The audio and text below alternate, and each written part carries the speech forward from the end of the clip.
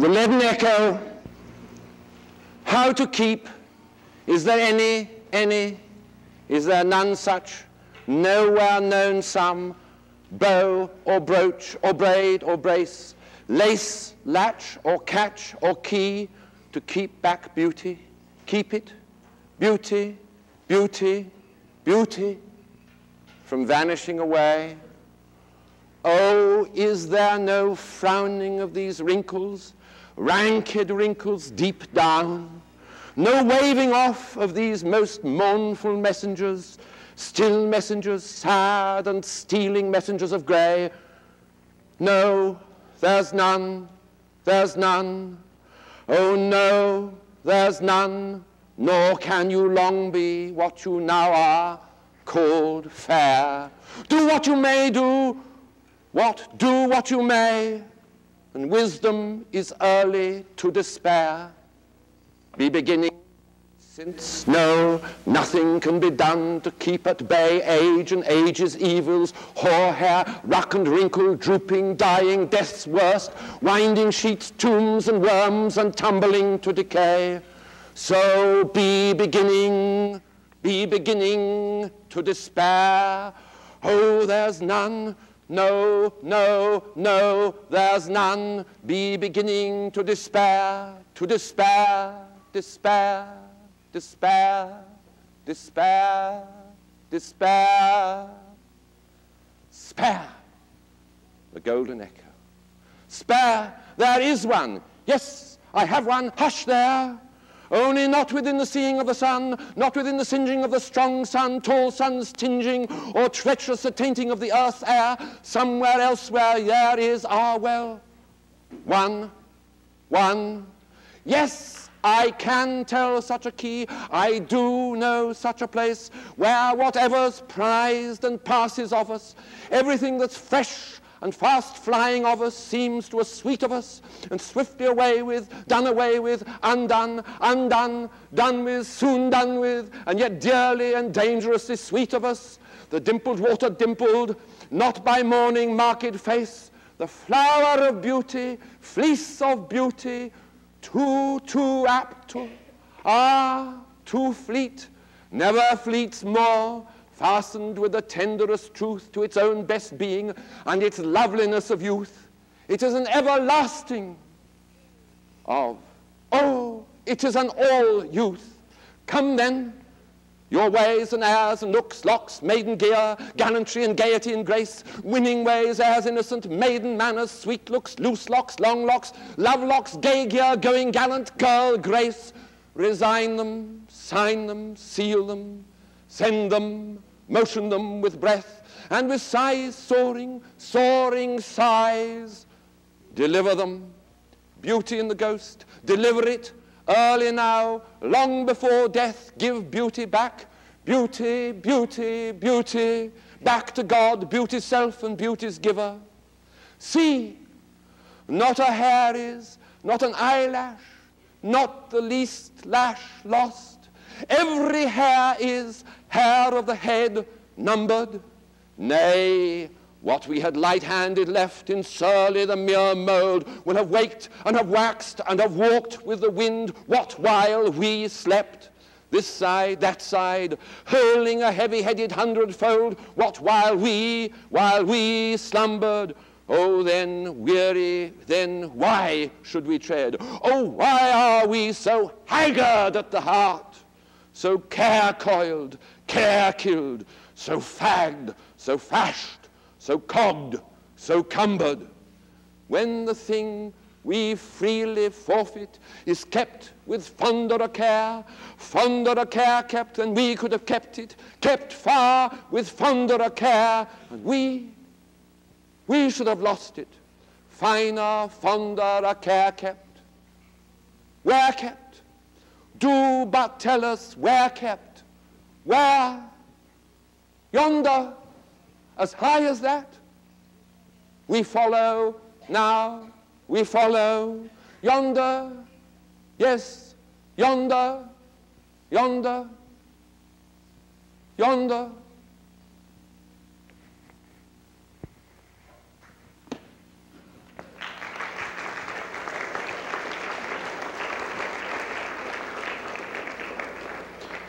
The relation between the poem I've just read you and the music to which you've just listened is an interesting one.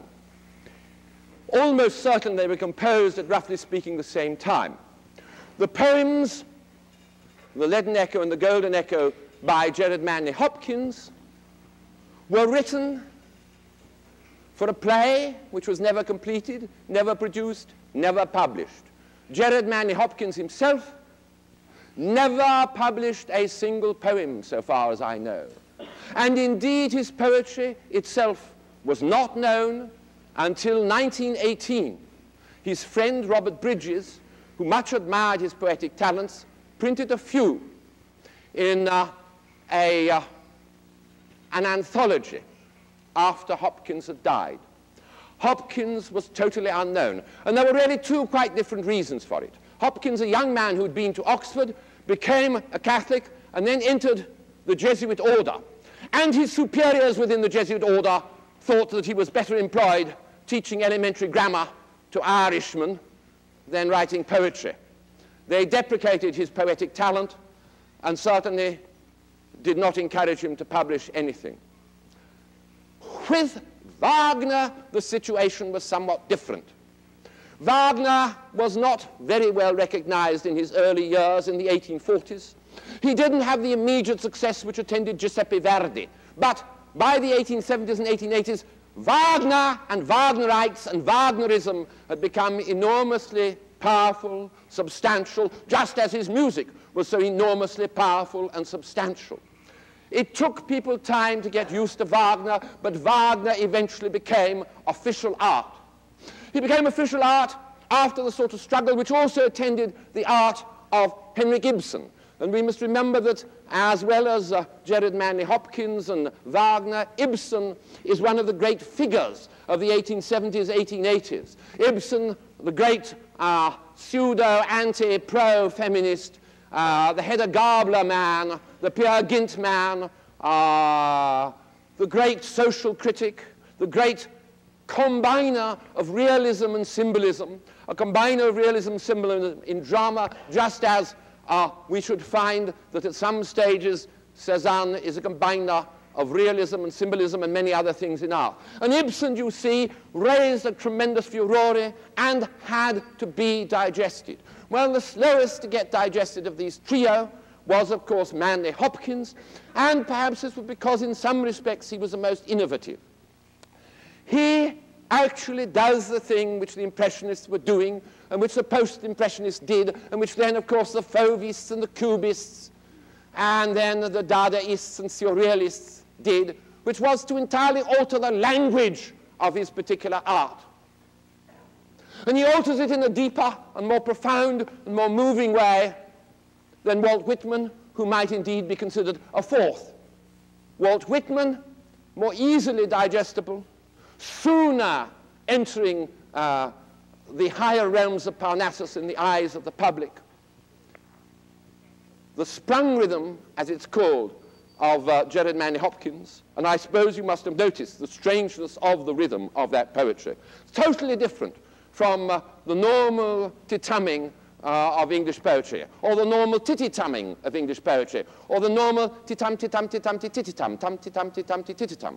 You know, uh, Longfellow was a very favorite poet in the 19th century, and you think of his regular silly titty-titty tappy-tappy-tappy rhythms, and then you think of the extraordinary Margaret, are you grieving, or Golden Grove I'm leaving, of uh, Gerard Manley Hopkins, whose favorite, my favorite Hopkins line is long live the weeds and the wilderness yet.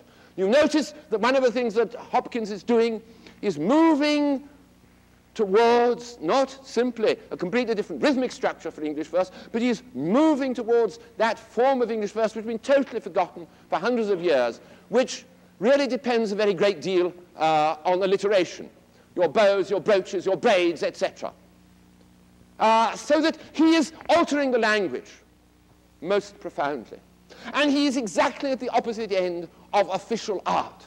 And what I want to do today, first of all, is to start talking, and can we have the lights down and the screen down, uh, to talk about official art. Because I think one of the things that you have to, if you want to understand the relationship between uh, modern and official art, you have to go back to the 1860s and 1870s. Impressionist art was unofficial art. The row starts because Manet gets put in the Salon des Refusés. What we have then is a clearer statement. It goes back, of course, in a way to uh, Courbet, making his own uh, one-man show next to the Universal Exhibition of uh, 1855, uh, the Parisian exhibition.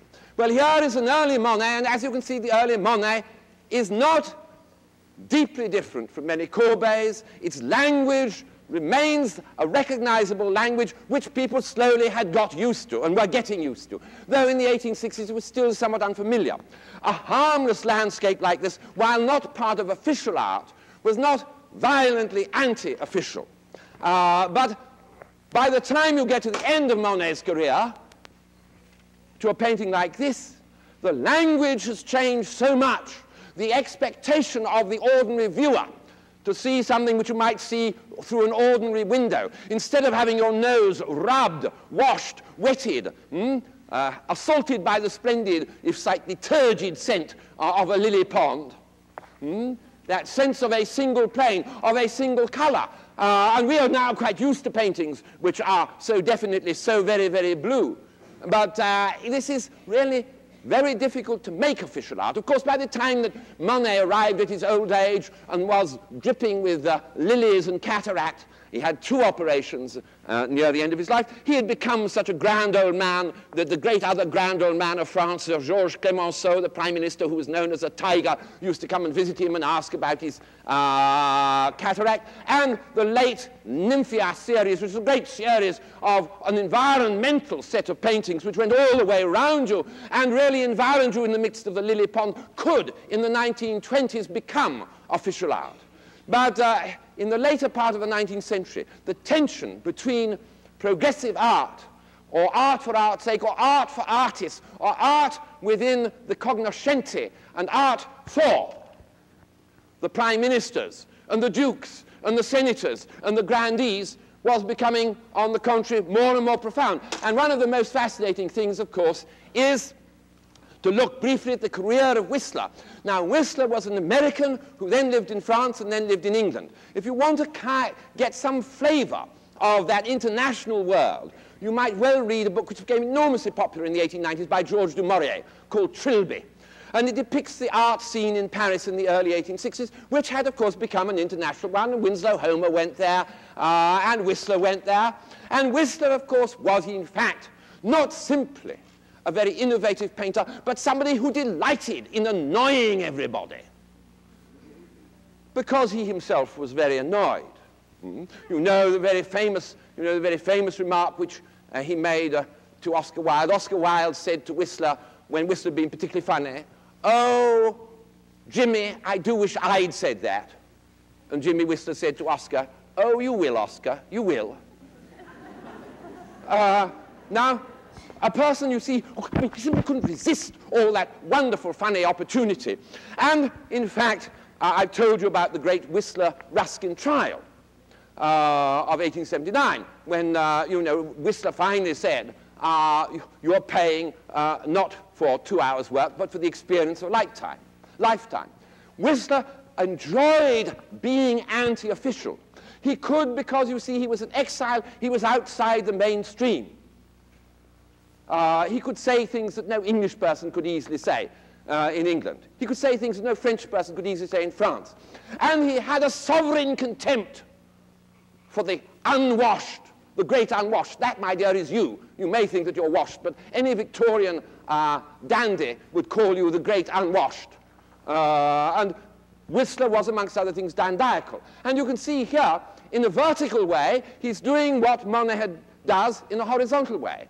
He is blocking up all sense of space, all sense of distance, all deep illusionism, any deep movement into space, and he's really fundamentally presenting you with a single plane. He's already fulfilling what Maurice Denis wanted fulfilled in the 1890s. Before anything else, says Maurice Denis, a, a painting is an arrangement of colors on a flat surface. Well, here is already, before 1890, an arrangement of colors on a flat surface.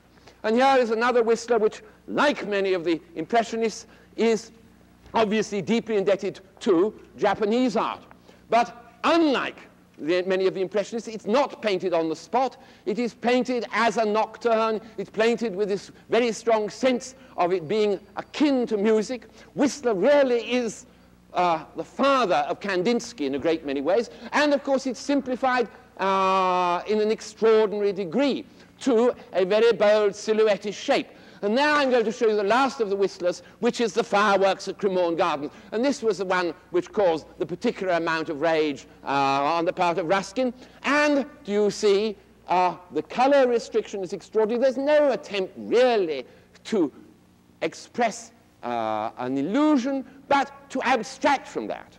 Mm? And remember those Whistler's remarks about uh, uh, the, the, the, people who, the person who composes uh, a composition which consists of a repetition of F, F, F, F, F. He wants to select, and he says, painting directly from nature is like sitting on all the notes of a piano. Do you see? So selection is absolutely central to him, and he pays the price. He is bankrupted in 1879, 1880. He flits between Paris and London. He's well known as a wit. He's much loved by Lillie Langtry and so on and so forth. But he does not succeed officially. And I want you now to think a little bit about official art. And architecture, of course, tends to have to be more official than the other arts because officials are going to have to pay for it. That is why most architecture in the 19th and 20th century is so dreadfully awful because it's all bought by bankers bad-tasted bankers and silly committees and so on. And what is interesting, of course, is that if you take the late 19th century, what do you discover? You discover a, a superheated nationalism. And superheated nationalism is not the best basis for art because it is propagandistic, because it is uh, dishonest, uh, and because it has to swagger. And, my dears, this is a palace of justice built for the small country, Belgium. You wouldn't have thought that Belgium would have enough crooks to justify anything like this. Mm? I mean, just imagine, you know, you're a minor pickpocket. Mm -hmm. You stole some candy from Woolworths. Mm -hmm. You know, you pulled the center out of somebody else's McDonald burger.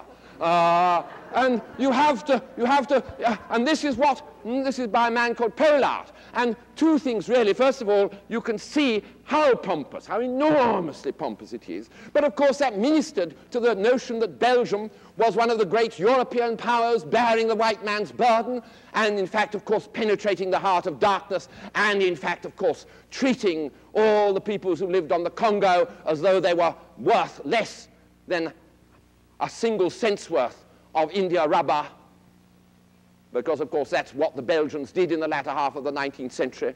Uh, they gormandized themselves on ruining uh, the life of Central Africa. And so, a hollow sham, you might well say. It's a hollow sham, which is also, of course, quite clearly what we would call neo-Baroque.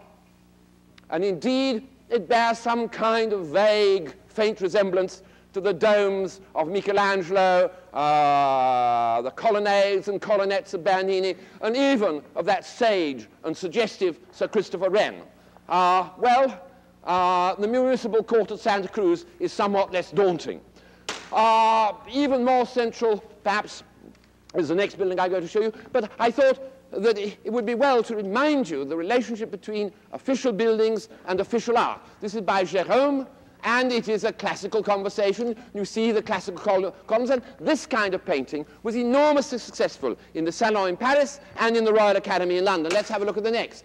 It is interesting that Gérôme himself not only painted scenes from ancient history, but he also painted scenes from the French uh, 17th century. And here is L'Eminence Grise, either, uh, that's to say Père Joseph, the uh, advisor of Richelieu, and you're given a sort of 17th century staircase. But what's much more interesting is you're given such a view of bureaucracy in the 19th century.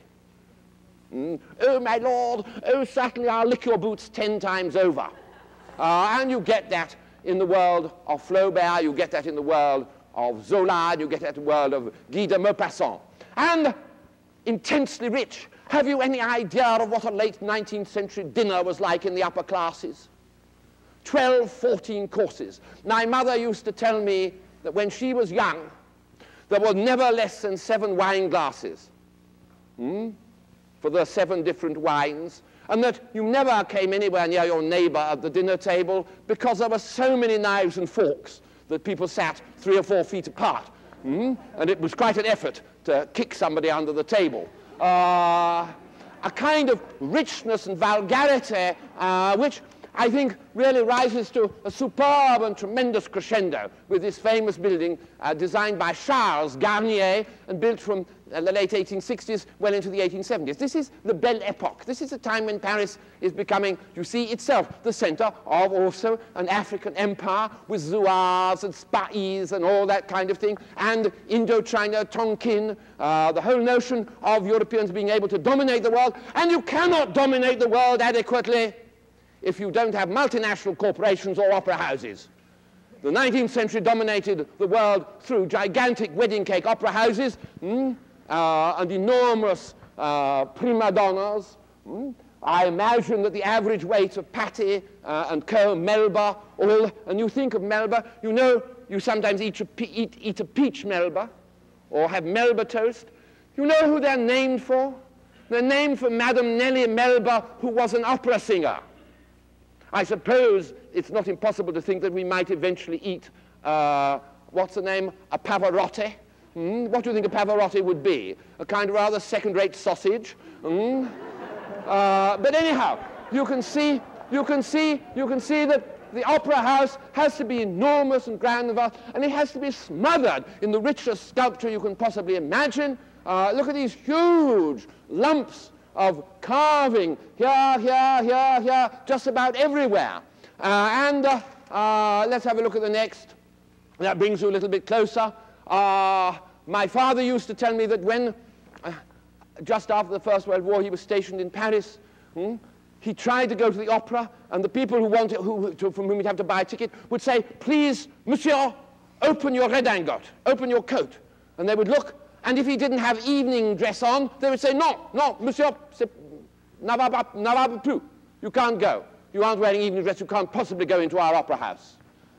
My own experiences is that I've only ever been able to penetrate to the very top of the opera house, sitting in very provincial company, two large ladies from Bordeaux with the biggest hips imaginable, and I was squashed in between them. But anyhow, uh, you look at the, you look at the, you look at the interior and you see yet more sculpture. You can't have just a, a, a formal abstract object holding up a torch. You have to have bronze boys and bronze girls. Uh, and uh, much of it, of course, is gilded. Much of it, of course, is made of the most elementary stucco. It is a grand neo-Barockery, which was finally redecorated in the 1960s with Chagall's paintings in the ceiling.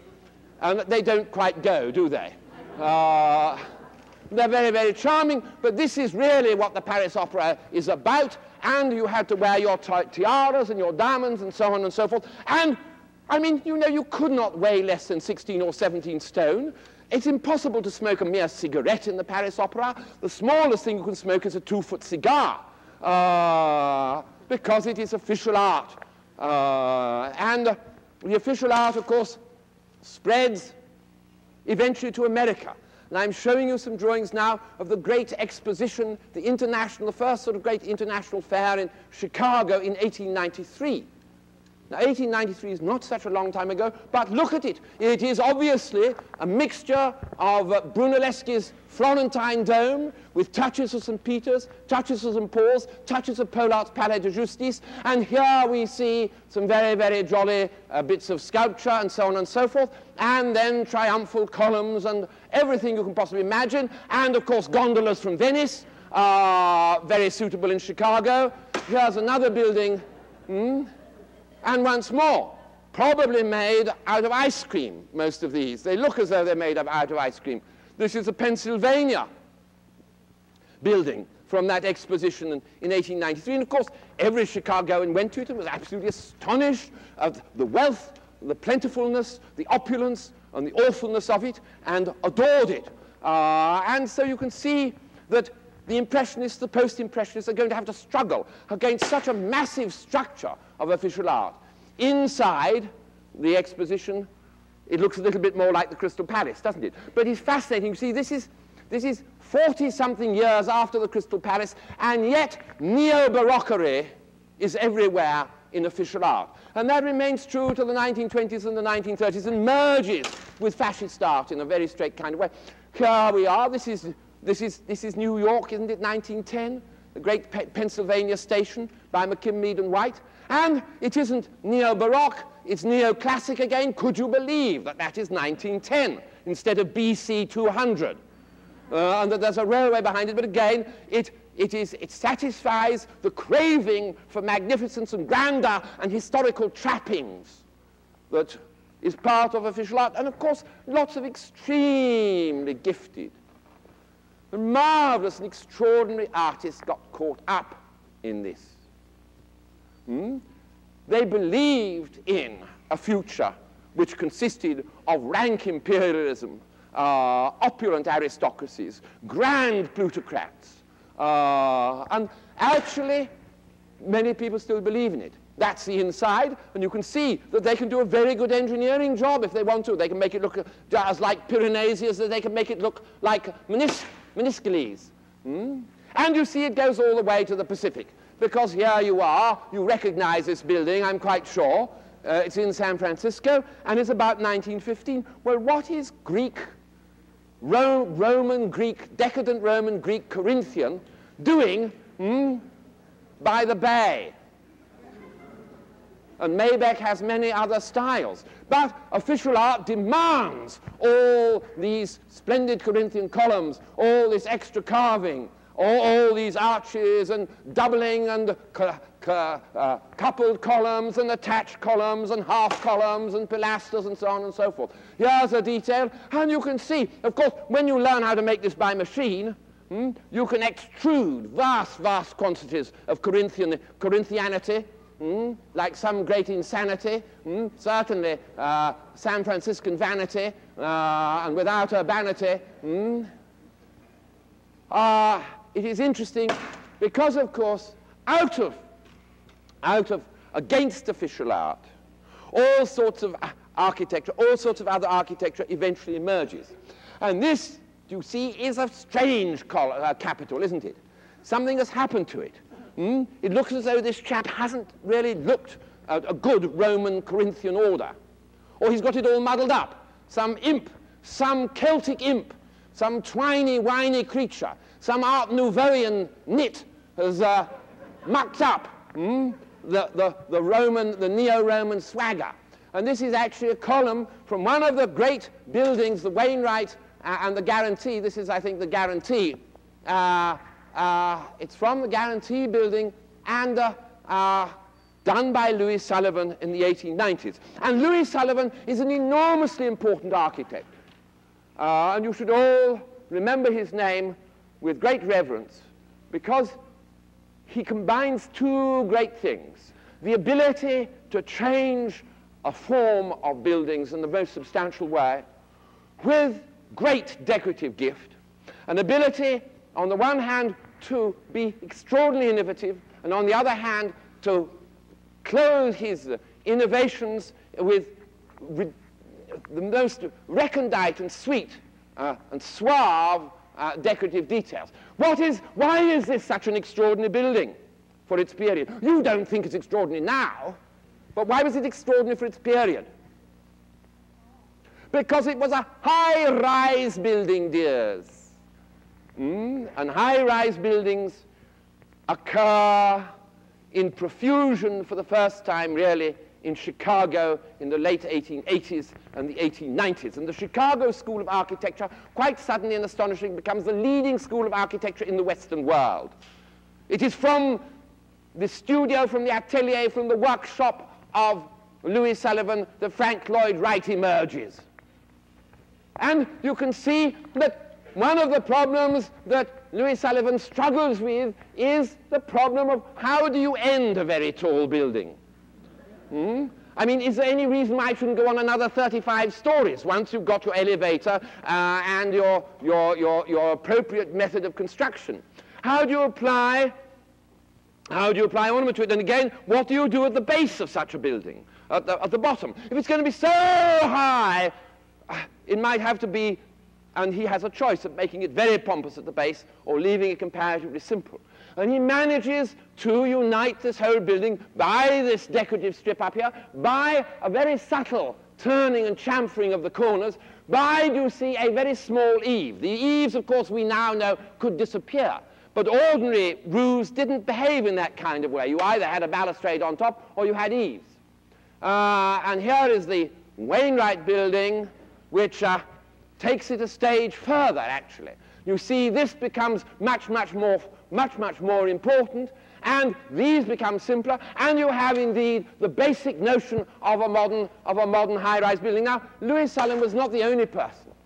Here's some of the detail. You see, and you wouldn't know that, would you? And you think of the difference between the world of Louis Sullivan and the world of Skidmore, and Merrill, or the world of Philip Johnson of the, of the 1940s and 1950s, or the world of Mies van der Rohe.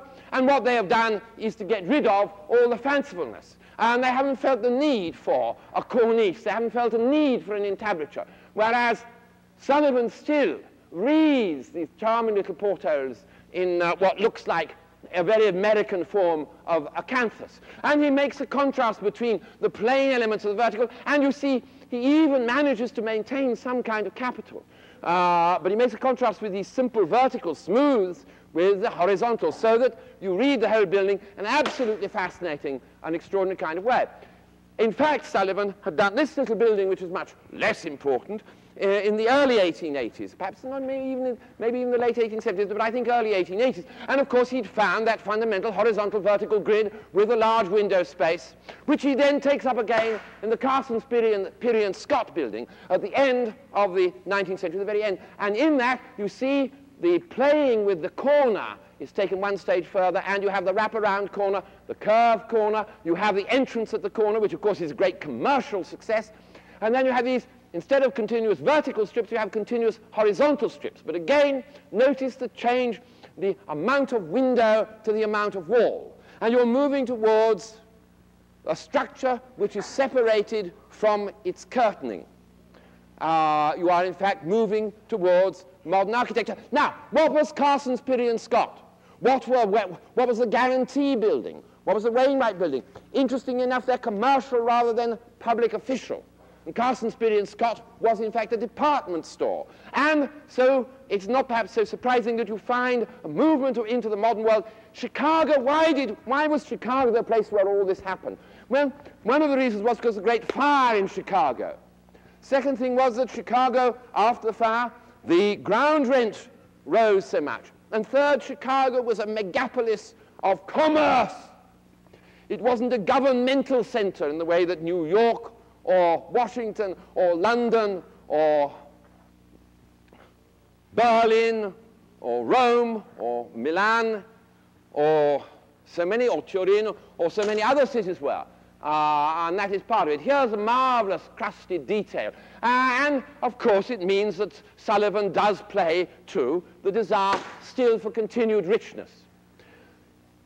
His, at one stage, partner and friend, Burnham, uh, the Monadnock building in some ways goes even further. When you look at this, you find it very difficult to think that that's 1890 or so, the Monadnock building in Chicago. Why do you find that that's difficult to believe that it's 1890? Because of the absence of any kind of ornament, the absolute cleanliness of the lines, uh, and the scale of repetition, and the lack of a sense of hierarchy in the building. And the use, you see, of extraordinarily simple materials to create a wonderful effect. A return to uh, the notion of the materials, and here is the whole thing, which, when you see it altogether, is not a little daunting. It's not a little daunting. It's extremely handsome, but it is also frightening. And it really tells you a great deal about what the 20th century is going to be like. All right, uh, so that we've seen some issues of official architecture, and of course, eventually, the officials catch up with uh, the latest modern architecture, the latest modern painting. And the bank managers uh, and the Rockefellers all come running to be up to date and to catch up with the artists. So that eventually Mies van der Rohe doesn't merely make a model of this kind of building, he builds this kind of building. And uh, hundreds of others do, and you get those great international firms like Skidmore, Owing, and Merrill. And here is a Skidmore building of the 1960s. And one of the things I want you to, want you to think about is how, you, how can you possibly think of an architecture to go with Impressionist painting? I mean, suppose you wanted an architect, you're an architect, you want to be influenced by Monet. What the hell would you do? I mean, you'd obviously go and look at the Monets and you say, but, you know, this is, this is, I've got to build an architecture out of, out of Harris Tweed. Hmm? Uh, and I don't know, I mean, it, it, it's all texture and it's no, it's no structure. And uh, indeed, you know, the, the, the, one of the things is that sculpture and architecture separate away from Impressionist painting. Uh, and indeed, one of the great problems of sculpture and architecture in the 19th century is that it, is, uh, it isn't, the, the, the, the, dominant mode of painting doesn't help it. Whereas if you think of this building and now look at these paintings, you can see how early 20th century paintings really are quite helpful, aren't they, for 20th century architecture? Or is it something different, and that is somewhere around about 1900, architecture from being an ancillary decorative art becomes once again the mother of the arts, of the visual arts. Certainly one of the things that is true is that sculpture begins to come into its own again. And I want you to think now about the very fascinating, very fascinating thing, which we don't always talk about, and that is that of the so-called Impressionists, Renoir becomes more and more interested in sculpture after 1880. Degas becomes more and more interested in sculpture. And even Gauguin, who's not really, of course, an impressionist at all, except in a very early phase, is very deeply bitten by sculpture. Uh, and this means that a change is taking place. And within the, the world of painting, you can move from the illusionistic uh, and also the textural uh, and the evanescent and the casual uh, and the fugitive of not only, of course, Impressionists, but also of Whistler, to an interest in structure, which is going to shift the arts, the visual arts, towards sculpture, towards architecture, and perhaps away from painting as its own separate center. And certainly, it is, I think, fundamental to any understanding of Cézanne to realize that he is revolting against the anecdotal, but he's also revolting against the evanescent, and he is looking for a profound and geometric order. And maybe more, more fundamental than anything else, we have to think about the late 19th century and the early 20th century as looking for a new geometric ideal order. That is very apparent if you do in fact concern yourself with Mondrian, who was quite clearly, amongst other things, a spiritualist mystic of no mean order, and a Neoplatonist of no mean order, and a person who believed, if you like, in the primacy of ideas over the endless shifting sensations of the visible world. And in that sense, you see, the Impressionists are terribly old-fashioned because they're so concerned with the mere world of appearance. When you move from pictorial illusionism to the world of inventive structure, which is moving from the world of painting towards the world of architecture, you may have to move, you see, in a Neoplatonic, geometric, idealizing uh, direction. And uh, I want you to think about that. Monet himself, as you see, can paint architecture very nicely. But when he paints architecture, its structure disappears almost entirely. It becomes, as indeed the great Ducal Palace at Venice is, a sweltering, mystifying, uh, porridgey creature mm, in the hot summer sun. Uh, and you can no longer really take in mm, its sharpness. And of course, that is why I suppose Venice was particularly delightful to so many um, uh, impressionists. Or again, Monet painting in Paris. And you could see he reduces architecture itself to uh, something uh, as uh, uncertain, hesitant, and indescribable in terms of mensuration as the trees in front of it. And so you have thronging visual sensation. Well, I'm going to ask you, uh, this is a Pissarro of another boulevard, and you can see the same thing happens with Pissarro. I'm going to ask you to imagine, imagine what Impressionist sculpture would be like. Hmm? Imagine, suppose I'd set you a very fascinating task and taken this late Monet and said, would you please all make a sculpture from it? It would be somewhat mystifying. Mm -hmm. The people who go in for embroidery would do best, wouldn't they? Mm -hmm. But I, I think it'd be almost impossible to conceive this in sculptural terms. Well, obviously, sculpture found it very, very difficult. This, you see, is a, a piece by Clesinger of the 1850s or so, and it goes perfectly well with Courbet but it doesn't really go very well with Impressionist painting. Uh, the forms are too solid, too easy to, too easy to apprehend tactilely rather than visually. Uh, and uh, of course, to a greater extent than uh, painting, and almost as great extent as architecture, there's one other problem for sculpture in the second half of the 19th century. It is terribly, terribly, terribly, terribly, terribly dominated by official art. I mean, just imagine there you are, you're a young sculptor, and you hear that they're going to build another opera house. You think, goody, goody, goody, goody, goody. Hmm? There are three muses. Hmm? There are, sorry, there are three graces. There are nine muses. Uh, there are 275 famous Frenchmen.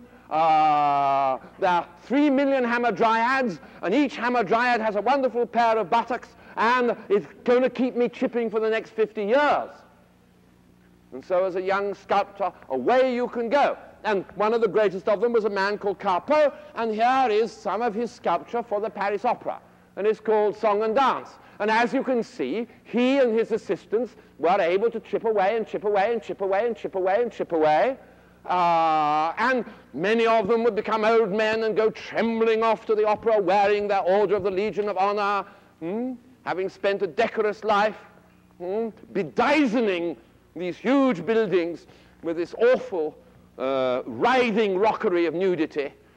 Uh, here is another, and again, of course, think about uh, uh, officialdom loves allegory, and sculpture is, is, an allegorical art. And here are the four, the four, the four seasons in it, or the four corners of the earth, or the four corners of the rainbow, uh, you had known that there were four corners to the rainbow. Well, that doesn't matter. Uh, the allegory is sufficient uh, to uh, justify such absurdity.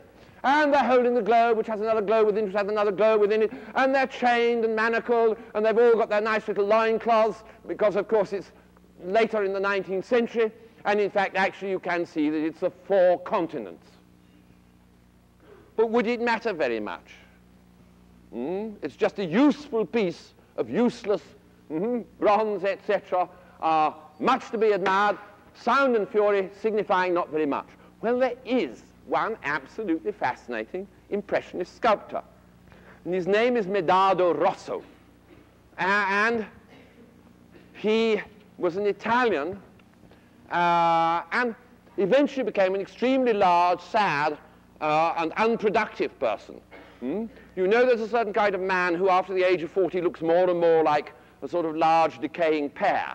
Hmm? You know, something happens to his hips and something happens to his stomach and it's as though he'd swallowed an elephant without bothering to chew it. Uh, and that's rather what happened to Medardo Rosso. But as a young man, he was thin and promising and wow, just wonderfully innovative. And he does, you see, this group of people in a garden. Now, he used some very fascinating materials. He used bits of glass, and in particular, he used a good deal of wax. Why do you think he used wax? Not, not, my dears, in a preliminary before casting, but he exhibited the waxes himself. Now, why? Because, of course, the wax would behave in a very especially funny way uh, in relation to the light. It would be soft and mysterious, and it would have the same kind, one would hope, some of the similar kind of uh, activity of light that you might get in Impressionist painting. And Medardo Rosso comes from Italy to France and works in Paris in the 1880s. He doesn't produce a large amount of work. After 1900, almost none. he just sits and eats pasta. Uh, and this is a garden party, my dears. Now, isn't that interesting? You might have thought it, you might, you might not have been certain what it was at all. And look at its brevity, look at its roughness, look at the attempt to get the sort of individual touch here and there. And one, of course, of the things that it tells you about is that Medardo Rosso is trying, you see, to relate the great 19th century art of landscape to sculpture. And that's a very difficult thing to do and Impressionist landscape even more so. I thought you might be interested to see this in relationship to, let's have a look at the next please, uh, a Renoir. And you can see, I think, what Medardo Rosso is trying to get at, but how awfully difficult and how in a way totally unsuitable to sculpture Impressionist principles and aesthetics are. And let me tell you that when you go and see the Medardo Rossos, and I have seen one or two, I've never seen a whole show of them, so I perhaps shouldn't say but I've seen a few of them, they're so disappointing. Mm? I mean, they, they're such a brave and wonderful effort, but it's so difficult to catch them in exactly the right light and get in exactly the right mood for them. And of course, when you get lots of wax covered with lots of dust, it becomes awfully dispiriting. Mm? And here you see is a, uh, another Renoir, and you can see how on earth you, how on earth you deal with this sculpturally. Well, you can see the Medardo Rosso, the kind of frenzied finger work and softness and waxiness. He does some town scenes which are a little bit earlier. And here you see he's trying to get the movement. And these are, this, these are, this is a drunken couple. And in fact, it might remind you more of uh, Daumier than of any impressionist. But you can see that he's unwilling to say where she or he leaves the ground. There's another one called The Kiss, uh, which again looks back to Daumier, but I think you can see in, look at, look at, you see his unwillingness to be definite about anything. It, it trembles, it, it, it frémisse uh, with, uh, with uh, indeterminacy. Uh, and of course, you might want to relate it to uh, Pissarro's great Boulevard uh, de Montmartre at night, which also has mm, a great uh, uh, gaslight, uh, lamplight in the foreground. Well, I have talked a little bit about the problem, which is an interesting problem, the relationship of sculpture to architecture to uh, painting. And if you took a totally official point of view, it wasn't difficult. The relationship then was history. And you did scenes from Greek life, or you did buildings done in the Greek manner, or you did scenes from Gothic life. You see, and so it's quite simple. And one of the ways out, of course, is what becomes called l'art nouveau. And uh, l'art nouveau, new art, do you see, it is, it is a definite attempt to be modern. It is also an attempt to create a style which can be applied to architecture, sculpture, painting, and not only those three, but also to ceramics, to glass, to embroidery, uh, to metalware, to every possible kind of craft. And I don't have time to deal with Art Nouveau properly, but here is a typical piece of Art Nouveau. It's a small detail from the enormous tomb, tomb done by a man called Alfred Gilbert.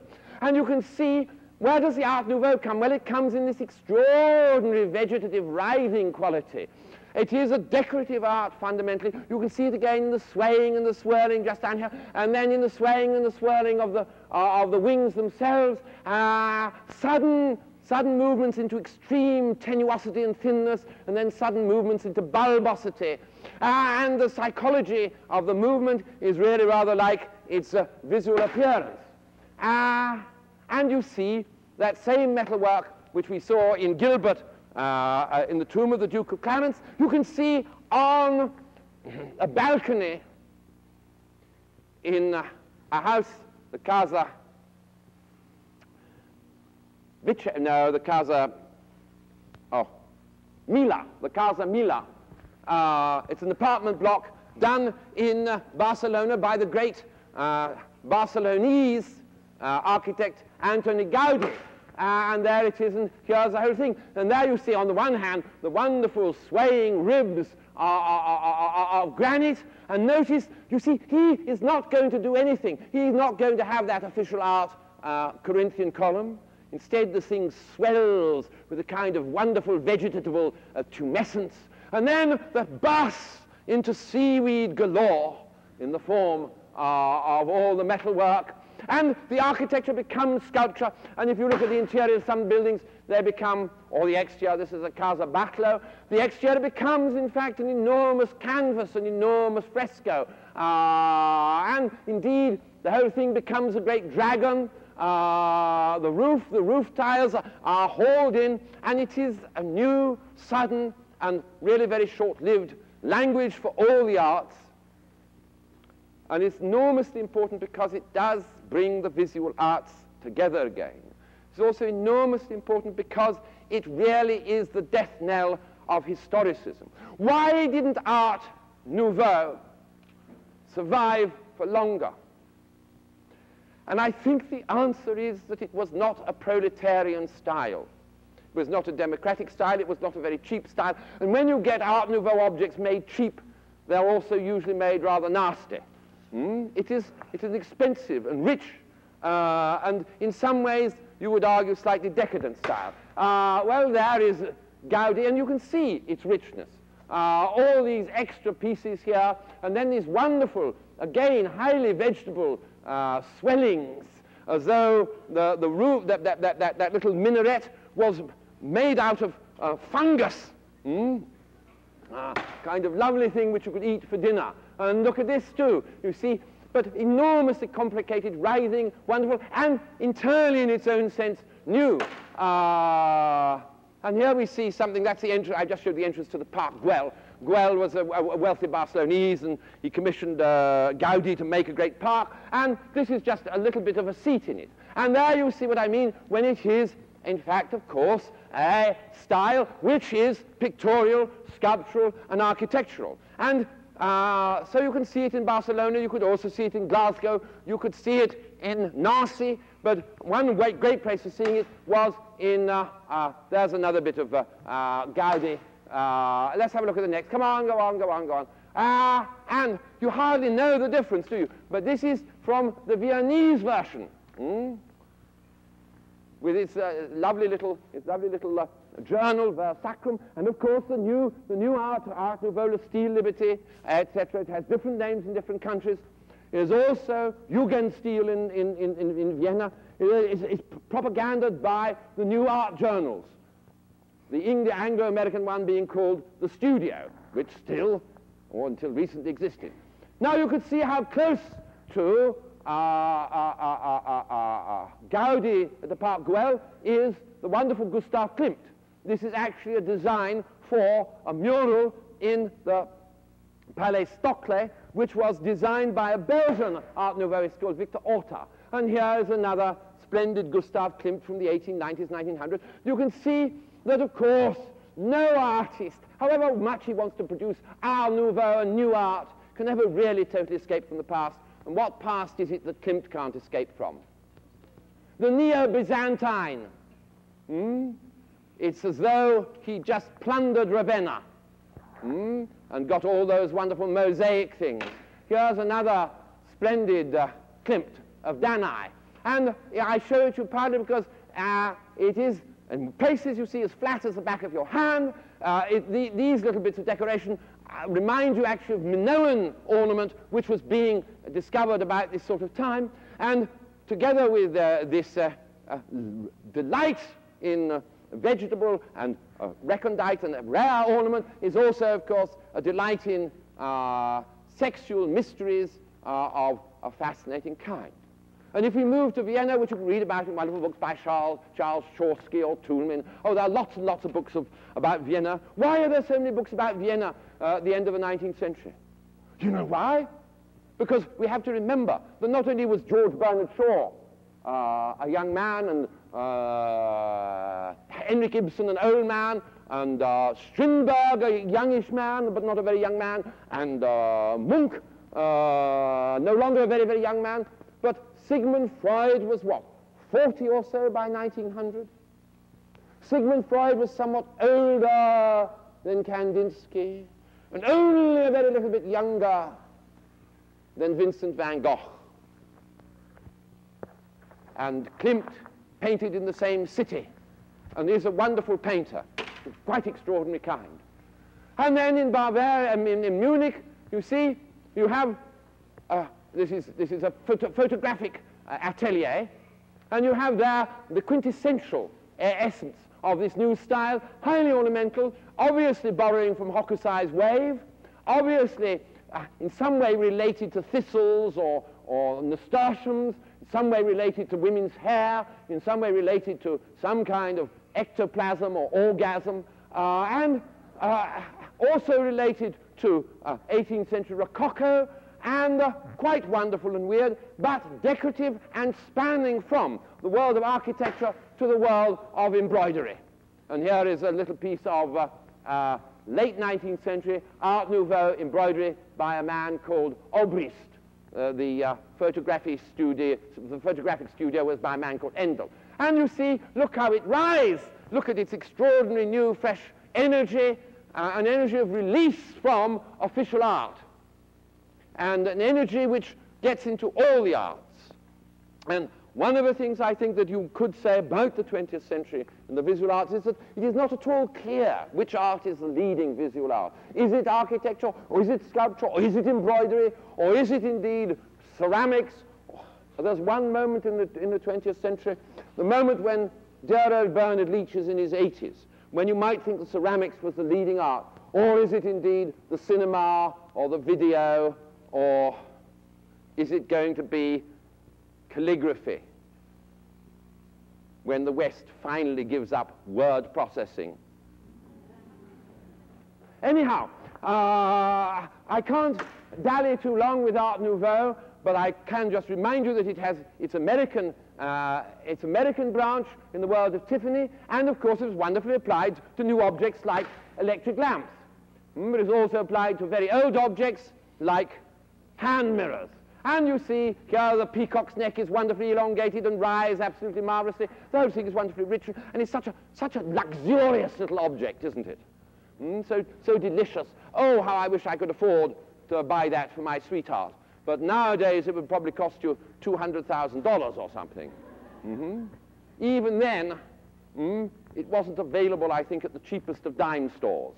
Uh, I doubt whether only very inferior versions were available at the burgeoning Woolworths of the period. Well, so we've seen a really complex problem. We've seen the problem of the arts falling apart and then coming together in Art Nouveau, and we want to place, we want to place uh, Impressionism within this with its great disturbing aspects. Well, let us remember that Impressionism is, in some sense, a short-lived movement, and this is, in fact, a painting by Renoir. Now, why is this a surprise as a painting by Renoir? Because it is quite clearly not of one of his charming uh, maidservants or mistresses or something like that. It is a portrait of who? Diana, because there she is. I mean, Victorian ladies did not run about the undergrowth with nothing on, with quiverfuls of arrows. Uh, if you want to see what a toxophilus looked like, you go to the paintings of W.P. Frith. But this is meant to be Diana, and it was for, and I think it got into the 1868 or 1869 Salon. You see, the official, it was, it was so difficult. Did you or didn't you join the academy? Were you or were you not official?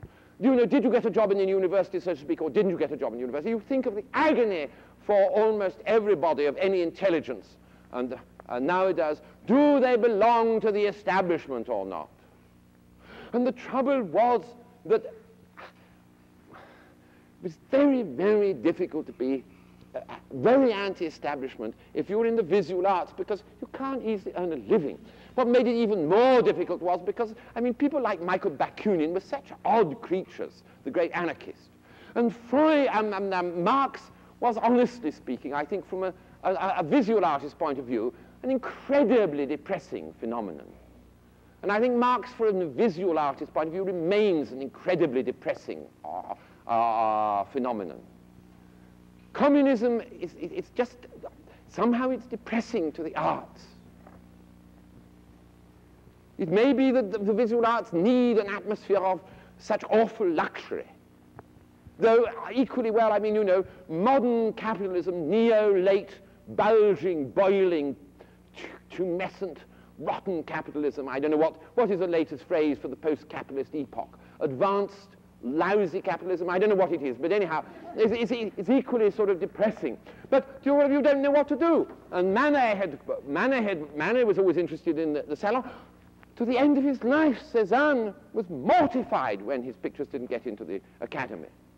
You know that Douanier Rousseau would trundle on a handcart, hmm, his great visions of tropical forests, to the Academy. And so it's not so surprising to find Renoir doing that. And it is, of course, more surprising, more brave, and more interesting. Diana, though no Victorian lady trotted about the undergrowth without the underwear, uh, Nonetheless, Diana, you see, was, was, an, official, was an official person. Hmm? Whereas these common or garden soubrettes and uh, uh, midinettes and so on, uh, the Moulin de la Galette, they were not official, they were the, they were the understomach, they were the, they were the lower classes, they were the rabble. Uh, and Renoir managed to paint them, and of course he moves from a very linear situation to this wonderful dapple light, and I think this is one of the great masterpieces uh, of Impressionism. It's a genuine Impressionist painter, painting, and yet it has an extraordinary and complex organization. The difficulty, of course, was to maintain a balance between the possibility of seeming very casual. You notice, in fact, that there are a whole series of fascinating diagonals which are then broken up by uh, a whole series of verticals, uh, and the organization of this is immensely subtle. But of course, it isn't really quite an impression. Hmm? And it moves again, not towards so much official art, but to classical art. And Renoir is torn between these poles. And you see towards the end of the 1870s, he does his portrait of Madame Charpentier, uh, and its relationship to Titian, its relationship to Rubens, is, I think, available to you under the surface. On the other hand, the actual means of doing some of the detail is still highly impressionist. At the end of the 1870s, Renoir beginning of the 1880s, Renoir goes to Italy. Now, I want you to think what that means. It means, of course, that he's pulled towards the sculptural. He's pulled towards the great repositories of sculpture, of ancient sculpture and Renaissance sculpture in Rome. Even more, he goes to Naples and sees the whole of the classical world revived in front of his eyes. And there's an astonishing change in a great deal of his art. One thing that happens is that uh, here it is just on the brink of these changes. Very modern, very mundane, and then you see what happens. It's extraordinary, isn't it? There's about four or five years from that uh, breakfast at Bougival, I think it's called, to the parapluie. And now look at the return of line everywhere. Look at the return of solid volumes. Here, here, you could bite that arm. Hmm? You could smack that shoulder. Of course, uh, only if you were a rather unpleasant person. Uh, but I wanted to get across to you the intense sense of, of, of volume that's now it's not everywhere. In, if you look at the face of this small child, or if you look at this face and this hair, but the dominant shapes of the umbrellas themselves, and then the return you see to an ellipse like this, uh, a world of geometry and volume is reappearing. Along with that, come, uh, Renoir becomes much more deeply interested in the nude, and the nude becomes a different thing. Nude becomes enormously solid mm, and, uh, and, and palpable uh, and absolutely lacking in accident. I mean, the difference between this nude and uh, Manet's Olympia, which is so uh, realist in its point of view, so determined to say, well, all human beings uh, are really rather skimpy and dreadful creatures. Whereas this is idealizing. This is going back to classical sculpture. And of course, as Renoir got older, and as his hands became more and more gnarled by, uh, what do you call it? Arthritis. Hmm? As he needed more and more assistance, he turns more and more to sculpture. And it's very, very interesting. What is the subject matter here? It goes back to the Diana. This is what? Come on! It's the Judgment of Paris. Here is Paris, here is uh, Venus, here's uh, uh, Minerva, and here's... Uh, uh, no, we can't have Venus and Aphrodite, that's the same person. I get my Greek and my Roman, and here's Mercury, or Hermes. It's, it's the Judgment of Paris. It's all familiar to you. This is, of course, a classical myth. But even more interesting than the painting is the absolutely superb and wonderful relief which uh, Renoir does. And uh, he becomes an absolutely, let's have a look at this, absolutely wonderful sculptor. And here's a, a version of his Venus, which has been taken indoors. Uh, it's been out of doors for a long time, and it's got all that wonderful uh, patina. Marvelous, marvelous thing. And of course, what I say about uh, Renoir from the 1880s, 1881, he ceases really to be an impressionist. In the 1890s, he's becoming sculptor's first painter. Same thing is true, of course, for Degas, except that it's more questionable whether Degas ever was a sculptor, uh, was, a, was an impressionist. And Degas finds it more easy to move into the world of sculpture. It's again with Degas not a problem of, of arthritis, but a problem of less and less good eyesight and a change in preoccupation. And uh, it starts, of course, with actually not this, but the next one, which uh, he exhibited, and I think it's almost the only sculpture he actually exhibited during his life. And, of course, it's a violent and wonderfully, wonderfully original affair. It isn't just that she's a little opera rat, she's just a little ballet rat, she's just a little young, skimpy girl uh, in the corps de ballet, but she is clothed, you see, in mixed media, including uh, ordinary cloth. Uh, and he draws attention to uh, the wrinkles in her tights. This is very, very faded. It must have originally been quite bright in color, uh, do you see? And what that then looks towards is all the kind of sculptural freedoms of the 20th century, from mixed media to assemblage. And in a sense, she's already in part an assemblage creature, because the, this part is not really made by Degas at all. It's borrowed from uh, some other kind of maker. Well, I said that Degas had never fully been impressionist. Of course, in the 1860s and early 1870s, he explores certainly impressionist subject matter. He starts off by doing by traveling to Italy, as Manet traveled to Italy. He's a well-to-do, of Italian origins, which is interesting, has lots of Italian, lots of, lots of Italian relatives.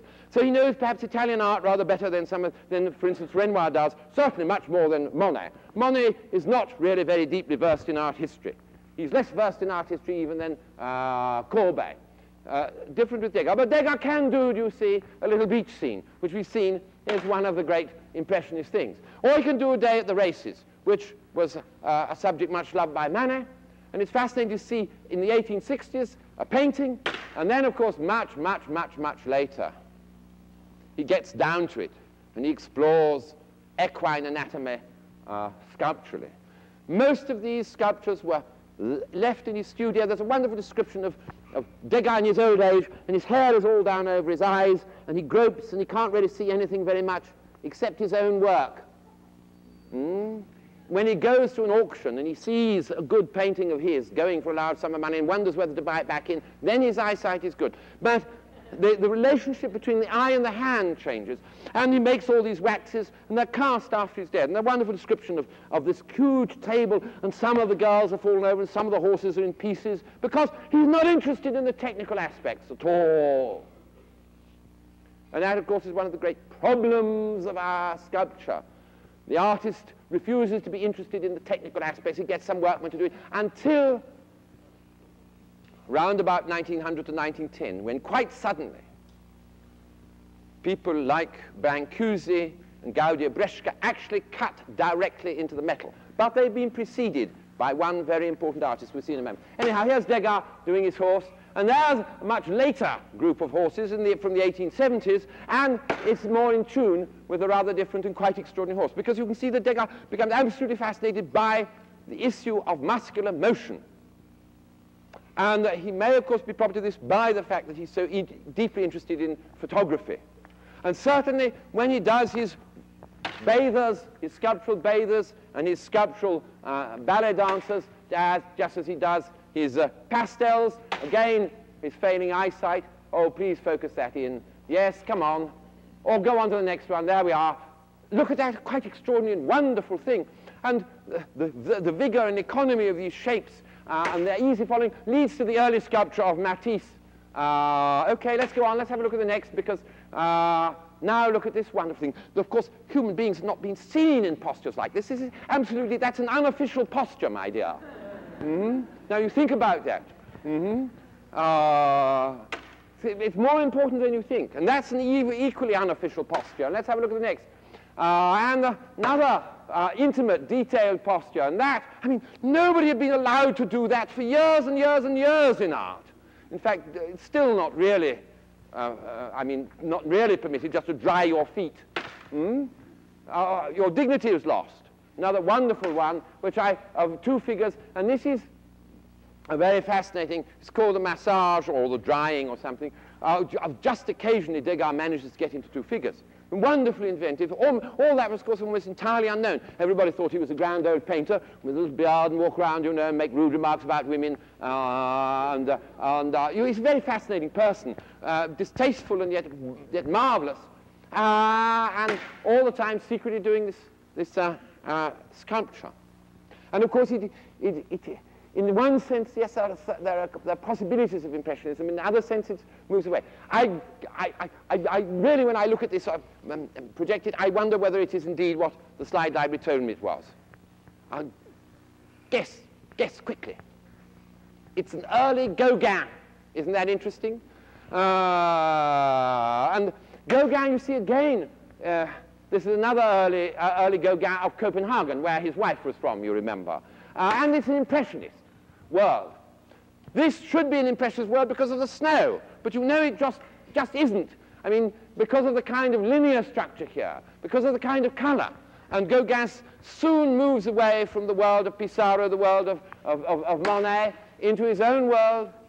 There's another late 1880s Pont-Aven one, and then into the world of Tahiti. But you see, accompanying and much less well known than his paintings is a fascination with is a fascination with sculpture, and I think you would have to say, interestingly enough, that his sculpture is more far out than his painting. And this is a very nice piece of sculpture, and uh, I'll leave you with the motto of it for today, which is Soyez, soyez amoureuses et vous serez heureuses. Be loving, dears, and you will be happy. And I'll see you on Friday.